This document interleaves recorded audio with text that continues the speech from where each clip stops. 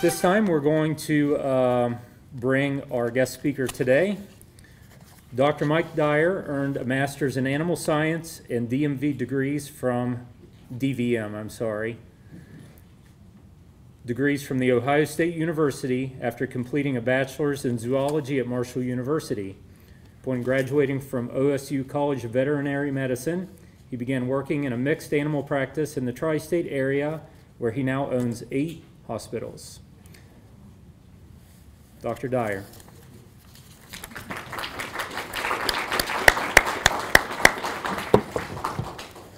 It's certainly a great opportunity to speak to a body of um, animals that will listen to me. Um, The two-leggers, yeah, maybe not. But uh, yeah, so uh, my mother, Shirley Dyer, um, I'm not sure when your mom asks you to do something, is she asking or telling you?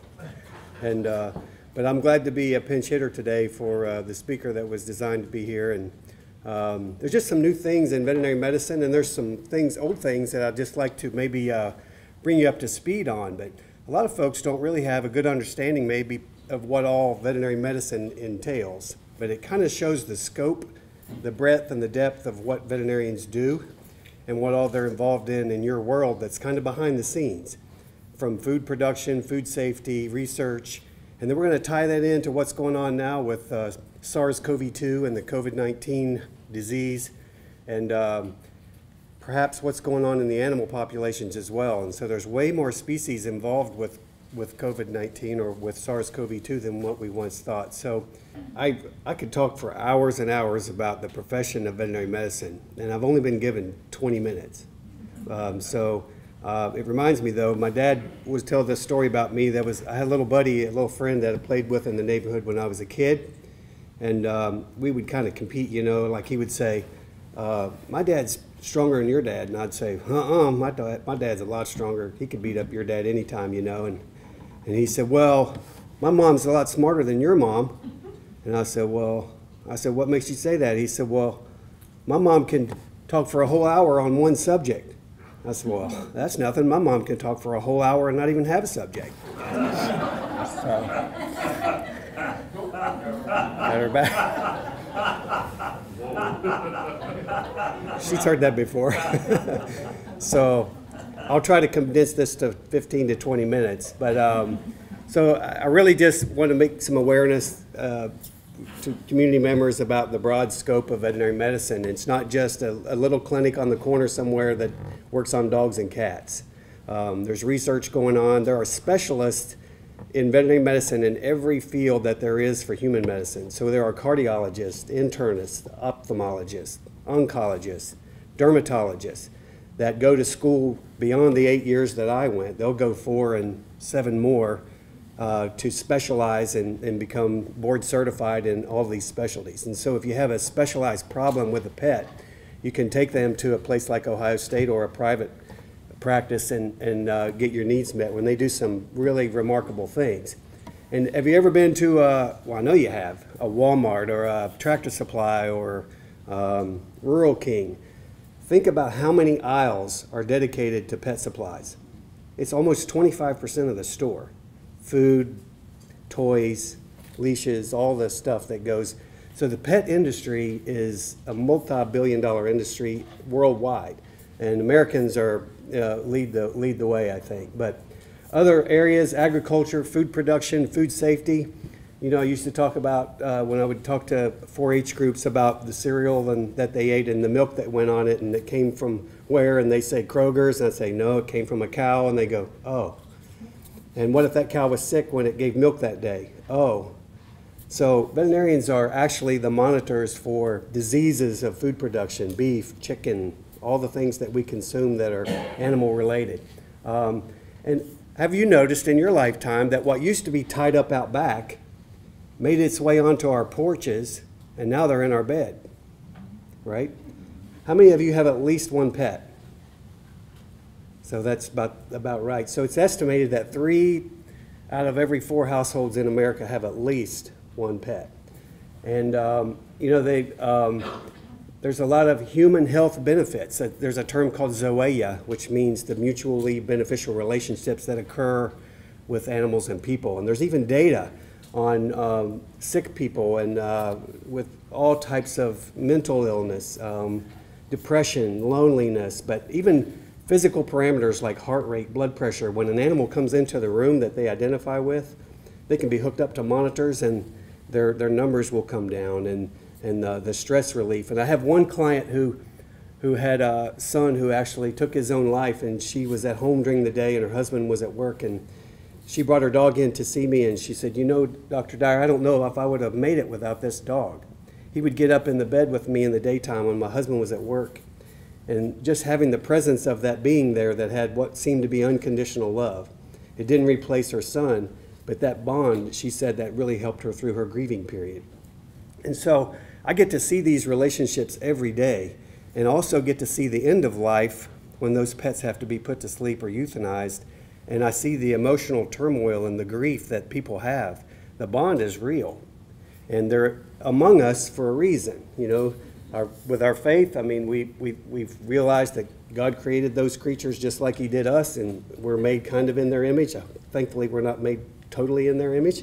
Um, but there's so many human health benefits. And um, I'm reminded of this story where this man was uh, really kind of upset with his wife and his dog. And he, uh, he locked them in the trunk of his car. And the loyalty of a dog is just amazing. And so when he finally let them out, only one of them was glad to see him.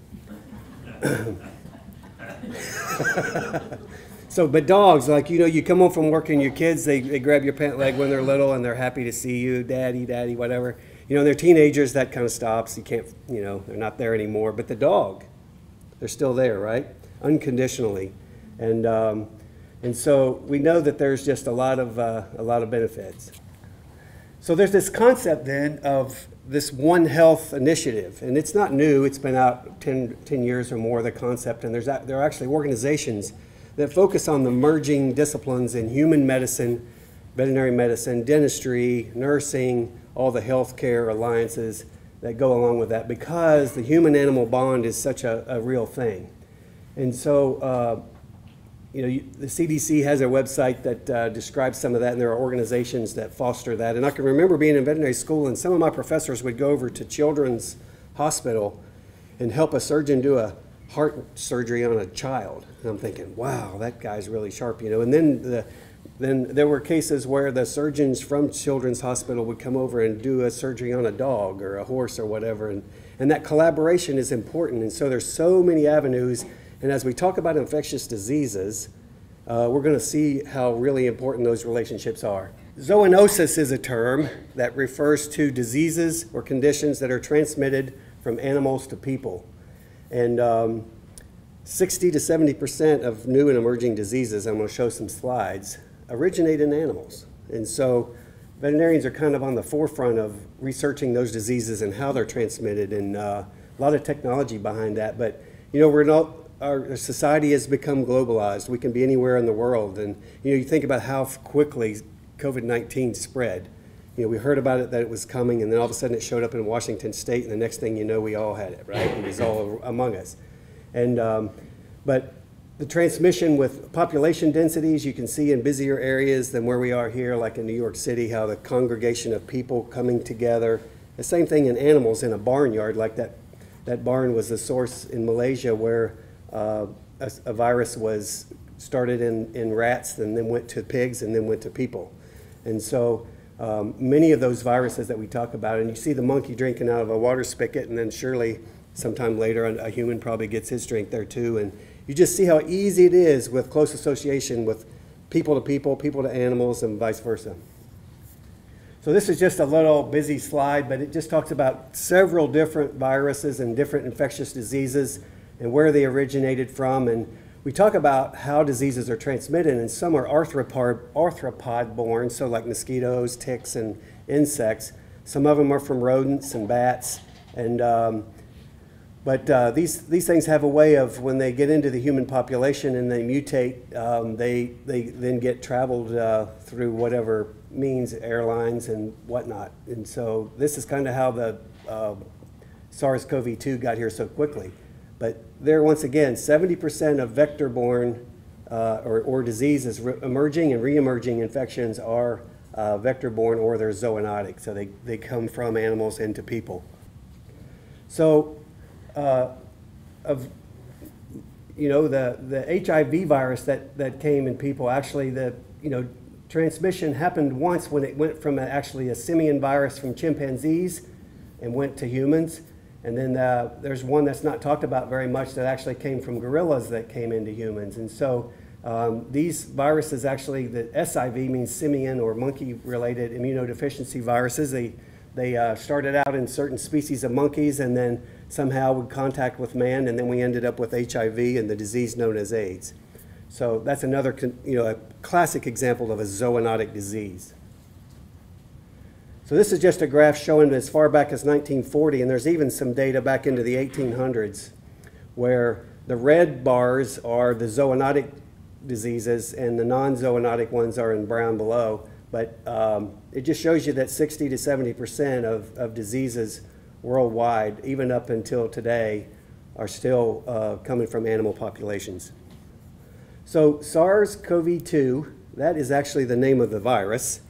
COVID-19 is the name of the disease that causes the that the virus causes, right? So, um, so there's this question, and, and maybe you've had this question in your mind about whether or not um, do my pets can they get SARS-CoV-2, and um, and then you know there's this question about uh, zoonosis from animals to humans, but what about from humans back to animals, uh, and then maybe back to humans?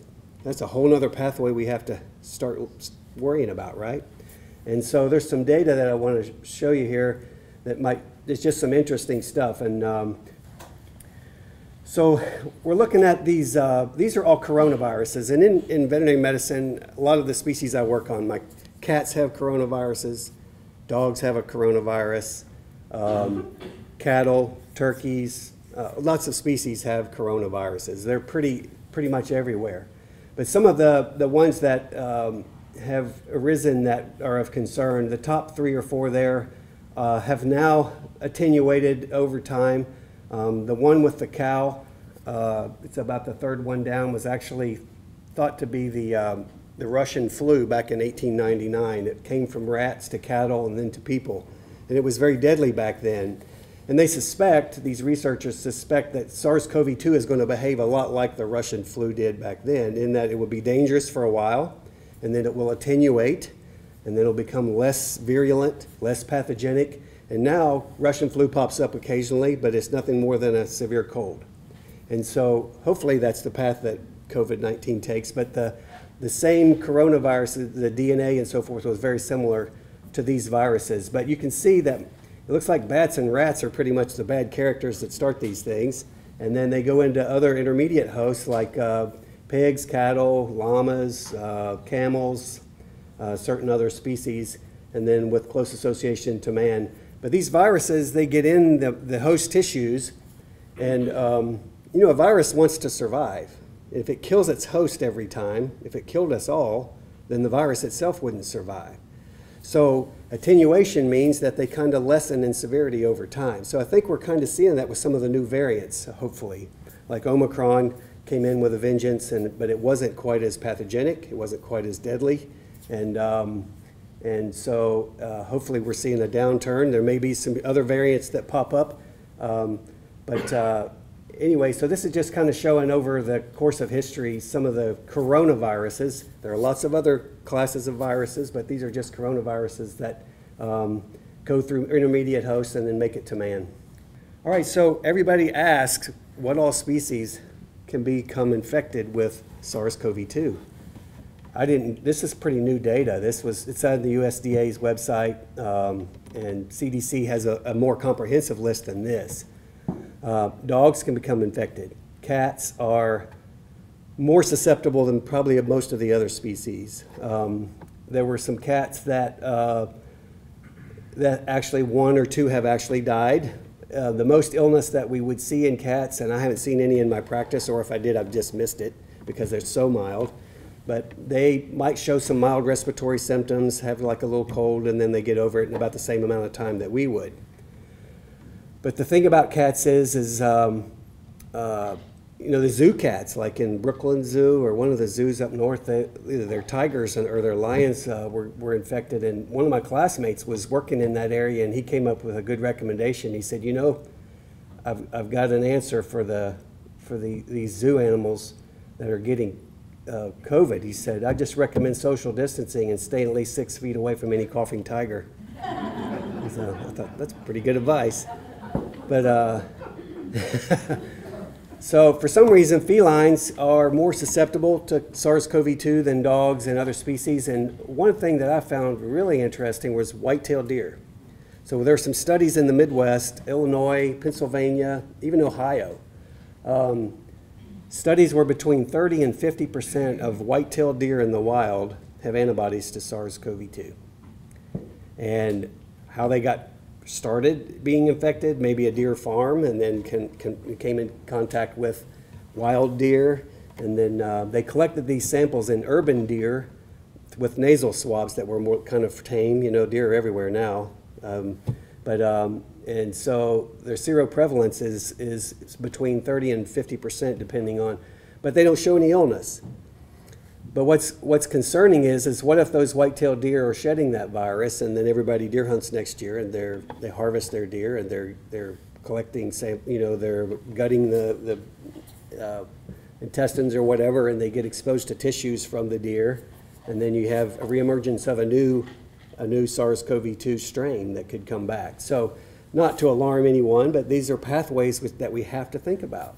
Um, back to lions, stay six feet away. But elephants have been shown to have antibodies. Mink have been hit really hard. The mink industry, uh, we don't have a lot of those in the United States, but in other countries, mink are farmed for fur.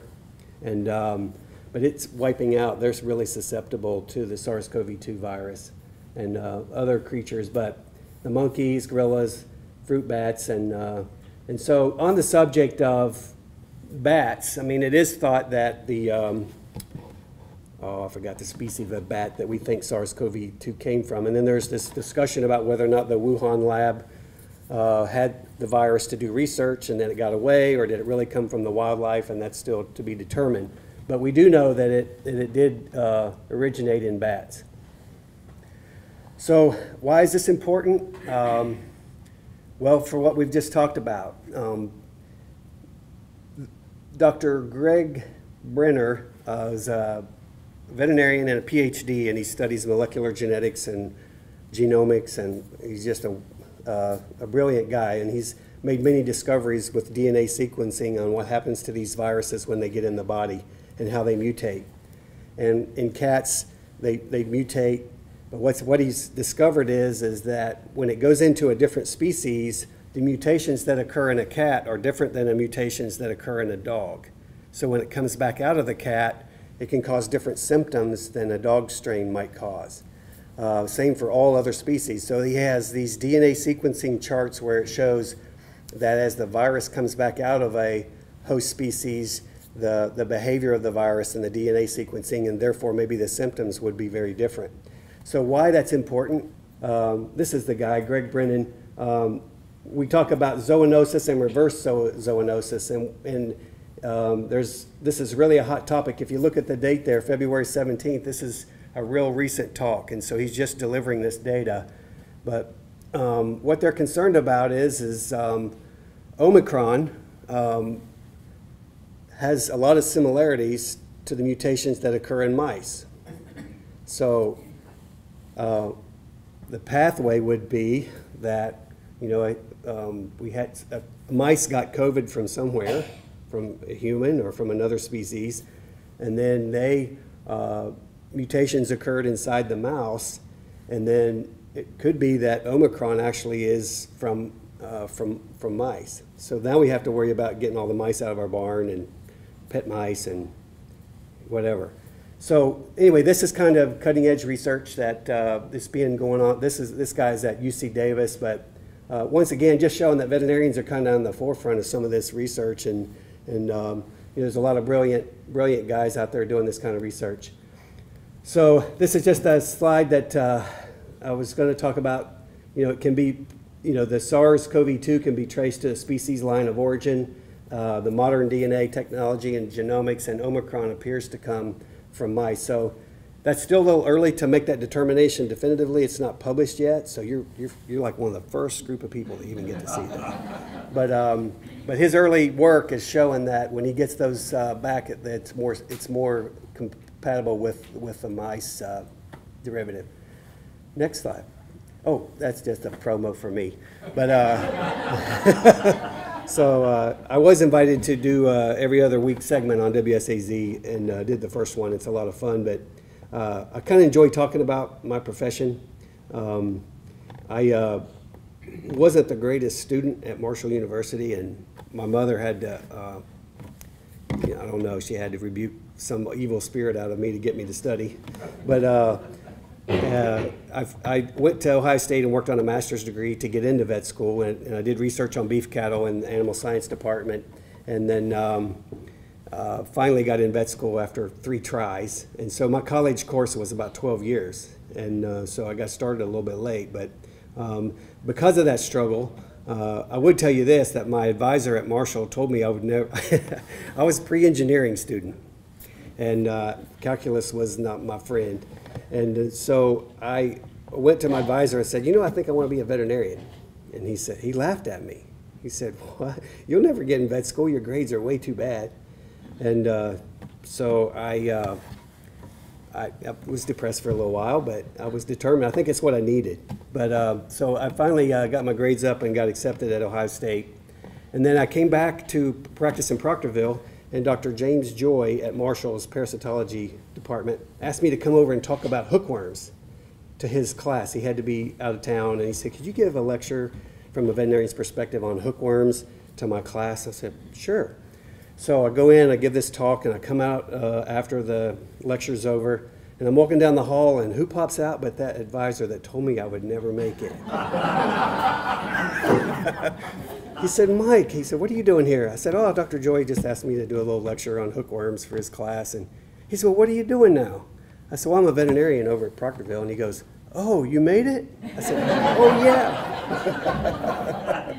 so anyway, any chance I get to talk about veterinary medicine, um, I, I, I, enjoy doing it, and I'm still passionate about it. I've been in practice for 29 years, and uh, uh, we at Proctorville um, the biggest honor for me is that Ohio State now sends students to me, fourth year graduating students to do internships, and that they would trust them to me. And the reason is that because we're somewhat rural, we're three hours from the specialist, um, a lot of our local veterinarians have had to learn to do things because people can't afford to go to Ohio State or or don't want to take the time to go. And so we do lots of orthopedic surgeries that are done at specialty practices. So they want students now to graduate and be more practice ready, so they send them to Proctorville.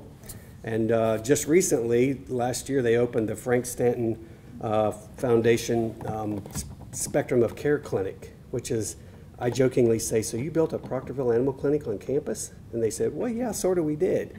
So it's separate from the main hospital with all the specialists. It's a regular practice on campus that operates a lot like my practice does and they let them do things earlier in their career so that when they graduate, they're more practice ready. And so uh, I'm glad to be a part of that. I serve on several boards up there, but um, you know, the, I just uh, today really wanted to kind of give you guys the scope and the, the breadth of veterinary medicine in general, and then talk a little bit about COVID because it's kind of, you know, it's a topic that we get asked about commonly. And, um, you know, just to bring the old, uh, thing full circle, I, I heard a Native American talk one time. He was talking about the bond with animals and so forth, and and you know this is generational. It's it's since animals were ever with us, and how when a when one of their fellow uh, Indians would pass away, um, when they buried them, they would get an acorn and bury it on top of the the grave, and that um, the fertilizer from the body decaying would supply the acorn as it sprouted it to become a huge oak tree and that oak tree would then give rise to countless acorns year after year after year, which would feed the deer, which would feed the Indians. And so that's kind of the, the circle of life. And so the human animal bond is, is real. Um, sometimes, if you don't have affinity for animals, you just think they're gross and they poop and all that stuff, right? but um, they're here for a purpose, and um, those relationships are really strong. And even if they're for food purposes, while we have them, we've been given dominion over them, which is a profound responsibility to take good care of them. And so, uh, thank you guys. I hope I didn't go too long, but uh, I can come back. So, thank you.